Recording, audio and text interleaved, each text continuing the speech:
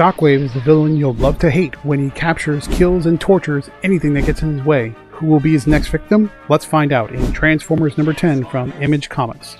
See you in 3.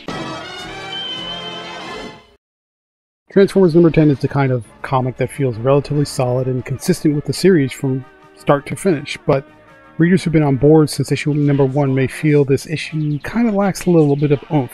It could be that the choice to spend half the issue on Beachcomber's backstory is just a creative choice that maybe was a gamble that it won't pay off, maybe. Or it could be that a journey without a destination is starting to show those little bits of hairline cracks in the series. Overall, it's a good issue, but maybe not our favorite. When last we left the Autobots and Decepticons in Transformers number 9, the situation got a whole lot worse for Earth when Soundwave completed the construction of an interstellar portal that allowed the infamous Decepticon general Shockwave to join the fight. Thankfully for the Autobots, Elita 1 fled through the same portal with the barely living Ultra Magnus before shutting it down.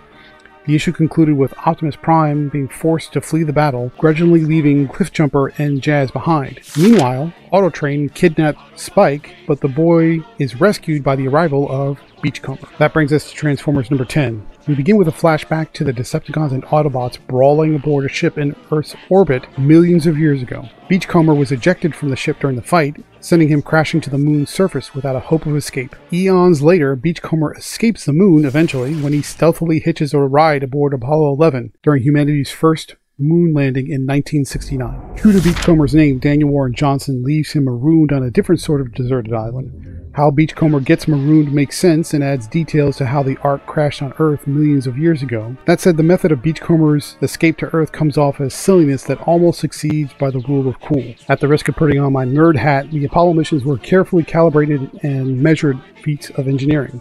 So there's no way Beachcomber would have been able to hitch a ride without crashing the lander or driving it wildly off with his body weight. Again, I know it's a very nerdy nitpick, but it's one of those ones where if you're going to pick on a famous historical event like the Apollo 11 landing, it's required that you get a little bit more accuracy in there to make it make sense. Somehow, Beachcomber makes it to a tropical island to enjoy the sights and sounds of nature for the next 65 years. When his sensors pick up the presence of the Ark somewhere elsewhere on the planet, Beachcomber travels on foot across oceans and continents, apparently, somehow, to find the ship embedded in a mountainside with all the occupants deactivated. Beachcomber had the opportunity to wake up the Autobots, but he chose not to. In the present, Beachcomber explains this information to Spike after his rescue with Astrotrain, while Astrotrain sits nearby, chained up.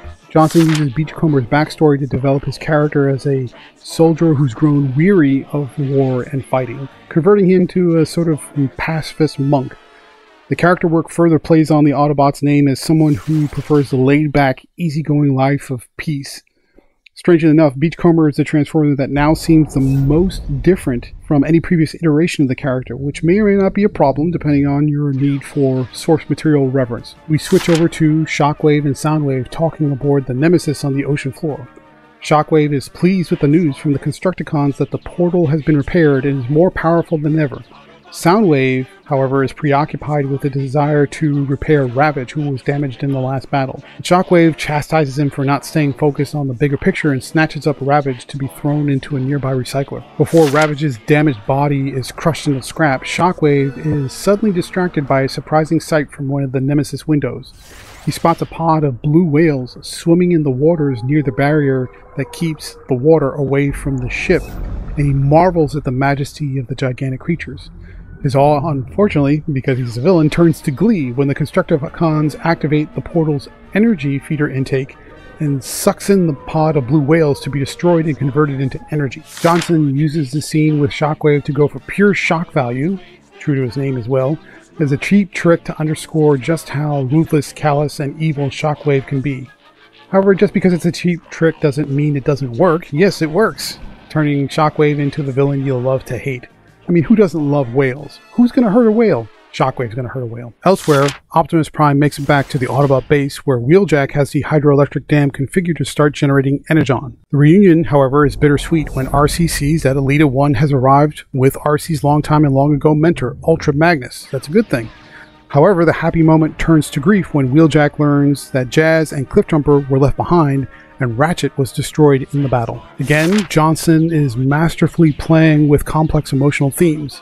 In one scene, Johnson creates emotional highs and lows while establishing complicated conflicts for Optimus as he's constantly burdened with the consequences of his choices made in the heat of battle. In this way, Johnson creates a stark contrast in the atmospheres between the Decepticon and the Autobot camps. The issue concludes with Cliffjumper and Jazz facing torture at the hands of Shockwave, possible unrest in the Decepticon ranks over their own decision to leave soldiers behind, a tense conversation between Elita 1 and Optimus Prime over past decisions in the war, and a massive new arrival which we won't spoil here. For all the back and forth and ups and downs, especially with Beachcomber, the last scene, and we're not going to spoil it here, practically dispels any misgivings with a huge wow moment you won't see coming. Johnson gives readers a planet sized cliffhanger that demands your attention, which is how every comic that has anything to do with action and adventure should end know before you ask, it's not Unicron. So you're to have to wait to see what happens in the next issue. Let's switch gears briefly to talk about the art. Jorge Corona and Mike Spicer continue to impress with dramatic visuals, energetic action, pitch perfect figure work, and character designs in an all around fantastic looking comic. Again, we had some, you know, minor misgivings about Daniel Warren Johnson rolling off the art duties after issue 6, but Jorge Corona has done a fantastic job picking up that baton and running with it. Let's take a step back and look at the bigger picture. Transformers continues to be touted as part of the Energon interconnected universe, and it's right there on the credits page, so you can't miss it. But so far, there's no presence of G.I. Joe beyond Duke's very brief appearance way back in issue number 2.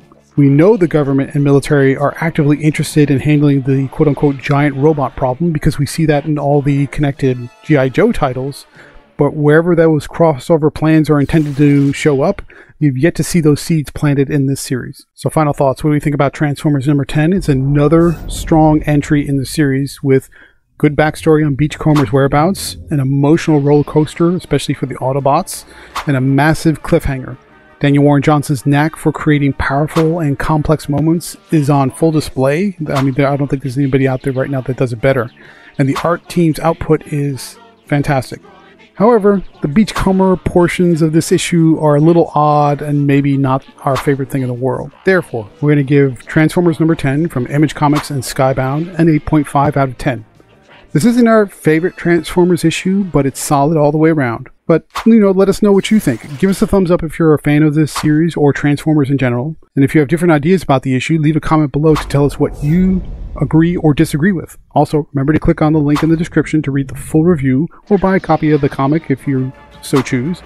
So, thank you very much for joining, and stay tuned through the outro for more reviews just like this one.